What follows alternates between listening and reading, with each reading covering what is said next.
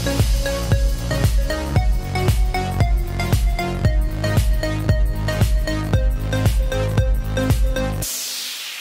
guys, what's going on? It's Greggles TV. Today I'm going to walk you through how to get Google Play games working on your Fire tablet. First thing you have to do is get the Google Play Store installed and working. I have a video for that. It's linked in the description down below. Make sure you do that first.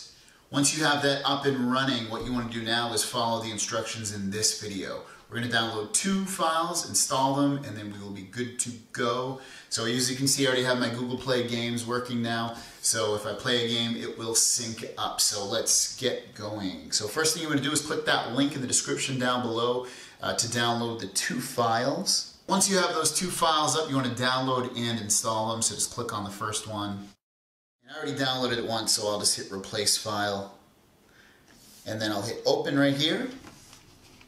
Or you can slide down from the top and hit open, it's right there as well.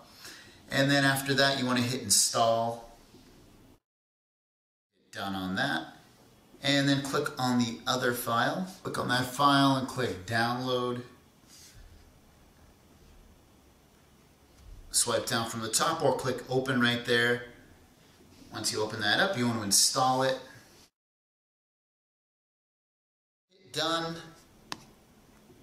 hit the home button, and then go into the Google Play Store and make sure you download Google Play Games. So to download that, just hit Play Games.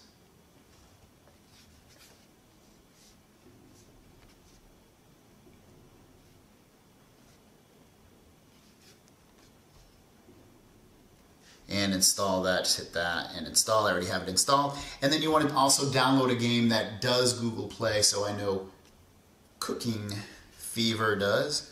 So I'll load up Cooking Fever, download that.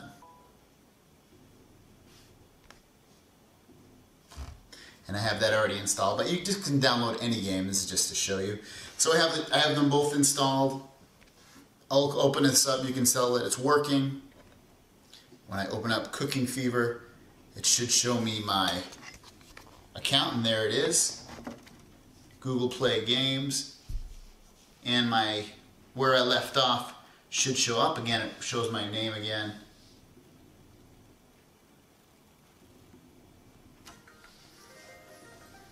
And there you go. Google Play Games now works for you guys. It's gonna just said it synced it up so you can see I have all these up for now. So guys, if you like this video, give it a thumbs up. If you have any questions, leave it down below. Thanks for watching, and I'll see you guys down the road. Peace!